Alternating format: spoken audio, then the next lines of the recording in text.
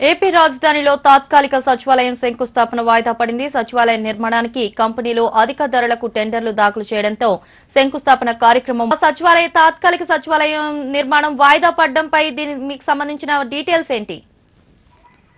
ఆ లక్ష్మి ప్రధానంగా రాజధాని పై నెల పన్నెండవ తారీఖున ఉదయం నాలుగు గంటల పదిహేను నిమిషాలకు శంకుస్థాపన చేపట్టాలని రాష్ట్ర ప్రభుత్వం మొదట నిర్ణయించింది.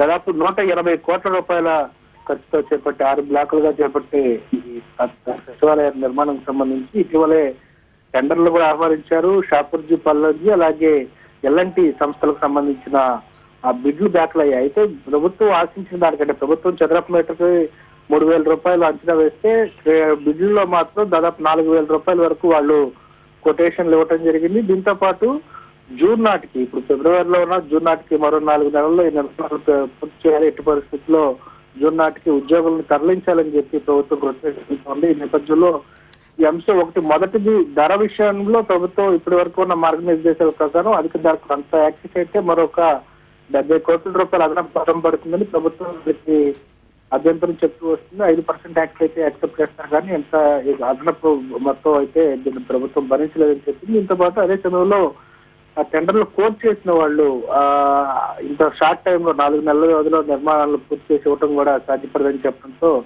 దీనిపై ప్రభుత్వం పునరాలోచనలో పడింది. అయితే శరత్ మరి టెండర్లు ఎక్కువగా కోట్ చేశారని చెప్తున్నారు కదా. ఒకవేళ ప్రభుత్వం ఆ అమౌంట్ ఇచ్చేలా ఉన్నట్లయితే కనుక ఈ ఫోర్ మంత్స్లో వాళ్ళు కంప్లీట్ చేస్తామని ఏమైనా చెప్తున్నారా? దీనికి సంబంధించి ఇంకో- ఇంకా చర్చలు జరుగుతున్నాయి. ముఖ్యమంత్రి కొద్దిసేపటి క్రితం కూడా ఆ పూర్తి స్థాయిలో ఇప్పటి ఇప్పుడు వరకు ఉన్న గైడ్ లైన్స్ ప్రకారం అయితే ఐదు శాతం మాత్రమే యాక్సెస్ని ప్రభుత్వం అనుమతిస్తుంది. అంతకు మించిన అమౌంట్ అయితే మళ్ళీ కొత్తగా బిడ్లకు వెళ్ళాల్సి ఉంటుందని కూడా స్పష్టం చేయడం జరిగింది. అయితే నాలుగు నెలల వ్యవధిలో ఆరు లక్షల చదరపు మీటర్ల భవనాలు నిర్మించడం అంటే అది సాంకేతికంగా కూడా కొంత ఇబ్బందులు తలెత్తాయి.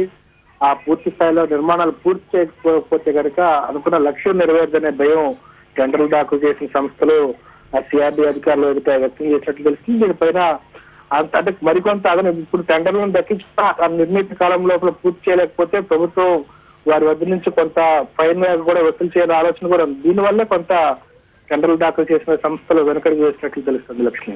Right thank you Sharath